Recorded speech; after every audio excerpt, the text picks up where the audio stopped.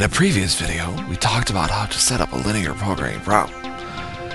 In this video, we're going to continue where we left off. Alright, so here's our setup uh, from the English to the math. So now we'll go into graphing the feasible region. I already have my axis set up. There's my linear programming problem.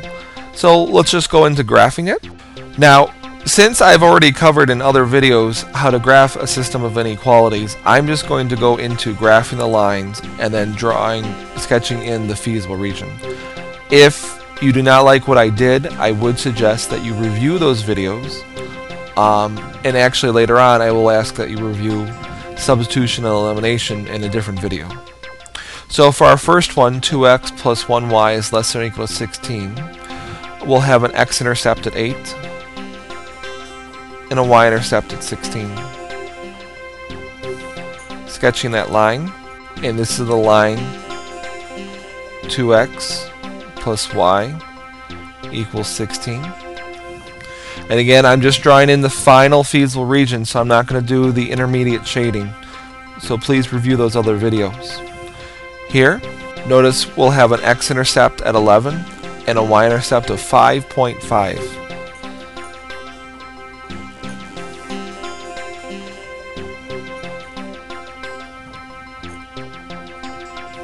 and we'll draw that line in. This is the line x plus 2y equals 11. And our last one will be x plus 3y equals 15. x-intercept is 15, y-intercept is 5.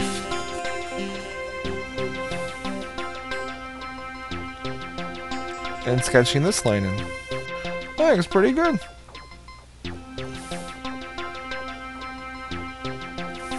And again, this is the line. x plus 3y equals 15. Very good. Our final feasible region will turn out to be this section right here. Let me sketch that in real quick. As stated before, your feasible region, your final answer, cannot cross a boundary line. So make sure you do not include this triangular region this one, or even this one in your final answer. Our feasible region has five corner points. Some of them are nice. Notice we have this corner point. That turns out to be 0, 0. We have this one right here. 0, 5. We have this one. 8, 0. Now, if they happen to land on the y or x axis, then you really don't have much work to do. You just point to it, say, okay, it's a corner point. Anything that is not on the x or y axis, you're going to have to use the elimination or substitution method to figure out where that came, point came from. So again, if those methods are icky for you, um, icky is a technical term, go back and watch that video for elimination or substitution. Notice we have another corner point right here to figure out what lines make up that point, this is where it's essential that you label them. Notice this is the red and black line making this corner point. So you would use elimination or substitution on the equations x plus 2y equals 11 and x plus 3y equals 15. If you were to do that, you would get the ordered pair 3 comma 4. Similarly, notice this corner point comes from the blue and the black line. So you would use elimination and substitution on 2x plus y equals 16 and x plus 2y equals 11. If you did, you'd get the point 72. What you want to avoid is looking at it and saying, oh, that looks like 7.2, that must be the point. Well, that's only true if you drew your lines correctly.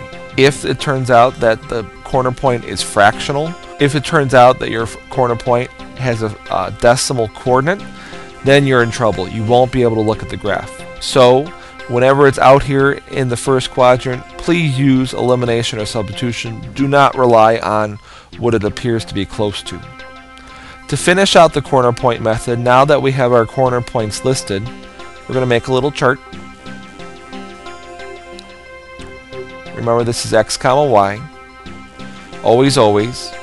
Actually, that is one of the most common mistakes while doing the corner point method. Students have been known to switch their coordinates, and that changes the whole problem. So please be careful with that.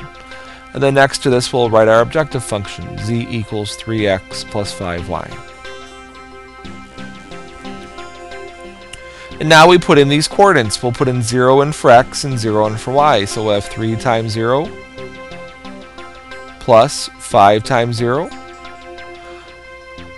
is 0. We'll do the same thing for 0, 5.